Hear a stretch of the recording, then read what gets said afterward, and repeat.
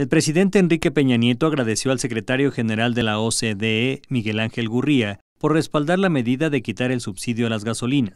La realidad se nos ha impuesto, nos ha alcanzado y creo que con sentido de responsabilidad, con carácter y con firmeza hemos tomado las decisiones que permitan realmente asegurar que México pueda seguir transitando en una senda de crecimiento y de desarrollo. Al encabezar la presentación del estudio de la política turística de México que realizó la OCDE, el Ejecutivo Federal dijo que no todas son malas noticias al recordar que el país ocupa el lugar número 9 a nivel mundial como uno de los destinos más visitados. El primer mandatario aseguró que México es una potencia turística. Pero más allá del turismo internacional destaca la importancia del turismo doméstico, como de hecho lo refiere el estudio que hoy presenta la OCDE entre 85 y 88 85 y 88 de cada 100 pesos que se gastan en el sector turístico vienen del turismo nacional.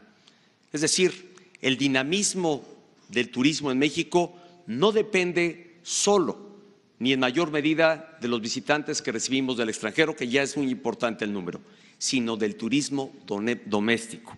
El presidente Peña Nieto reiteró que en esta coyuntura su gobierno continuará apoyando a los mexicanos y sobre todo a quienes menos tienen.